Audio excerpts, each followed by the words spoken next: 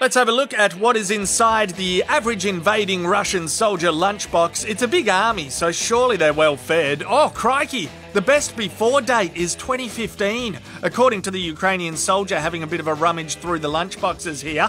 What about this one? Yeah, nah, 2015. It must be an old box. Russia is reusing the boxes. No way a modern soldier doesn't have modern food. That's a solid knife, by the way. Crocodile Dundee would approve of that knife. What have we got here? What have we got? Doritos, fruit, vegetables, a fucking energy drink from Logan Paul and KSI. Nah, stinky tin food and stale bickies. What? Fucking bullshit. I would refuse to march forward if I were a Russian soldier. I'd refuse to blow up pregnant women and children. That is just fucked. There's one thing a leader should never be a tight ass about, and that is catering.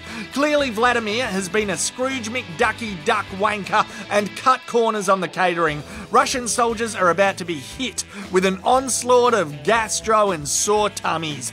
Yeah, well, yeah, well, that's actually probably a great thing. They should go home, pack up your lunch boxes, and piss off home. Okay, so they're not going home. Instead, they're going into people's backyards to beat and steal their chickens. The bloody Ukrainian chooks are putting up a hell of a fight. Just go home. Leave the men, women, non binary people, children, and fucking chickens alone.